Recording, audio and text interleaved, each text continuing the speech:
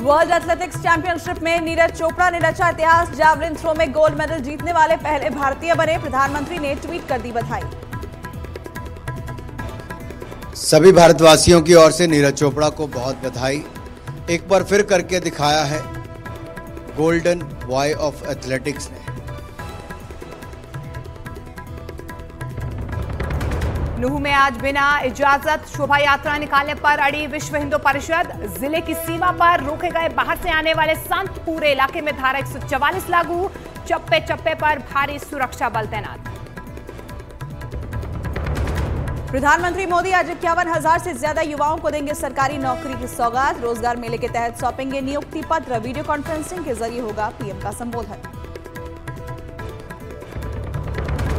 चाँद पर गए विक्रम लैंडर ने दी 50 डिग्री तापमान होने की जानकारी इसरो ने शेयर किया। ग्राफ कहा कुछ गहराई में जाने पर ही गिर जाता है माइनस दस डिग्री तक का तापमान।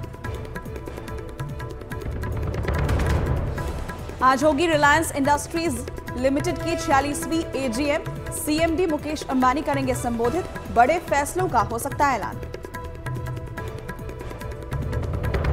हिमाचल प्रदेश के कई जिलों में आज भी भारी बारिश की वजह से मौसम विभाग की बड़ी मुश्किलें। बारिश और चट्टानों के गिरने से अब तक तीन सौ उनहत्तर लोगों की मौत, साढ़े आठ हज़ार करोड़ से अधिक का नुकसान।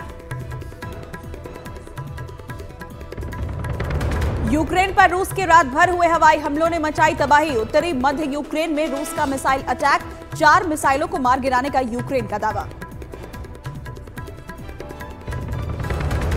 न्यूज़ 18 इंडिया लगातार बना हुआ है देश का number one Hindi news channel दर्शकों ने खबरों के लिए न्यूज़ 18 इंडिया पर जताया भरोसा।